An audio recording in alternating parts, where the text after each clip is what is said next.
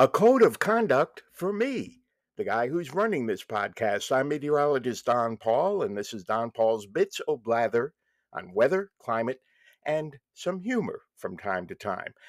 Some ground rules I've already been following in the first two weeks of this growing podcast.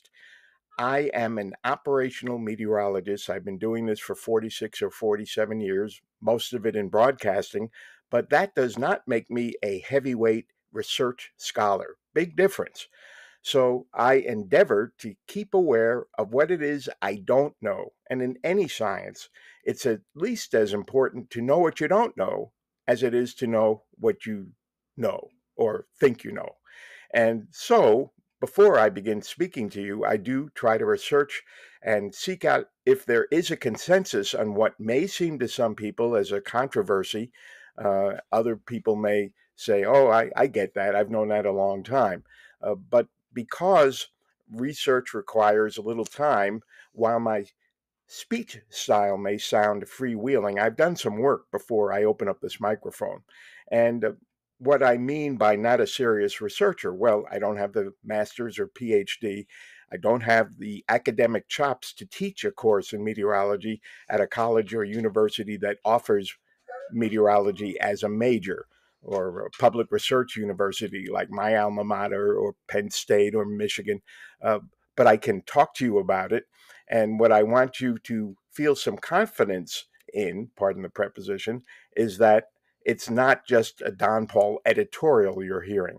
And I will let you know if there's no consensus, if something is still 50 50 in the scientific community or 60 40. I may not give you exact numbers, but uh, I'm not here to cherry pick and find things to bolster an argument or an editorial. I'm trying to lay out the science as best as I can research it. There are summary literature uh, items I can survey. I've done a lot of continuing education over the years, and it's been necessary, especially in climate science, because when I was an undergrad, it had been known since the early 19th century, yes, that long ago, that greenhouse gases existed. And since the mid 19th century, experiments were being conducted showing that carbon dioxide was not transparent to heat and could trap heat. And in 1896, a great Swedish scientist Svante Arrhenius, no, that's not on the Blue Book exam, actually wrote a paper. He went on to become a Nobel laureate and chairman of the Nobel Institute. He wrote a more defined paper on the greenhouse effect, and he predicted the warming which would begin to accelerate during the 20th century, especially later in the 20th century, due to the increase in carbon dioxide being emitted by the Industrial Revolution activities.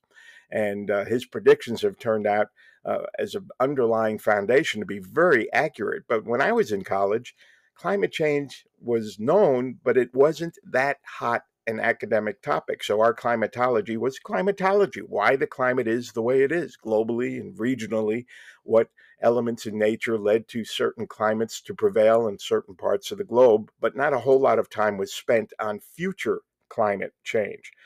Of course, that has changed. So I've been, uh, like many of my colleagues, able to take many short courses, both at weather conferences from the American Meteorological Society and online courses from the University Corporation for Atmospheric Research, which enables people like me to take academic courses, some with some exams involved to prove that you've uh, mastered the material and to continue to grow intellectually in your area. And and the disciplines involved in climate change are not just climate science but there's also atmospheric physics atmospheric chemistry hydrology oceanography and of course meteorology is in there too.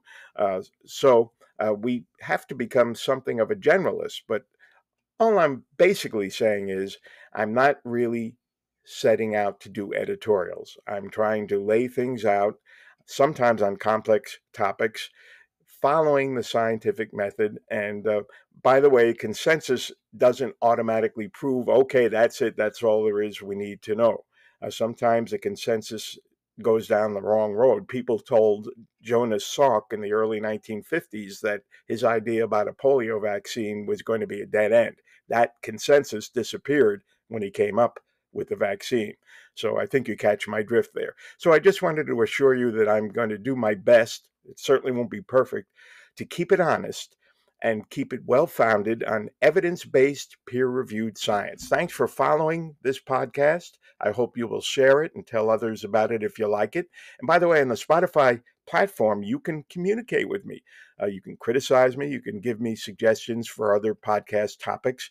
I'd love to hear from you. I've only heard from a few, even though I've gotten some good growth in these first two weeks. So please join in, and I will talk to you very, very soon.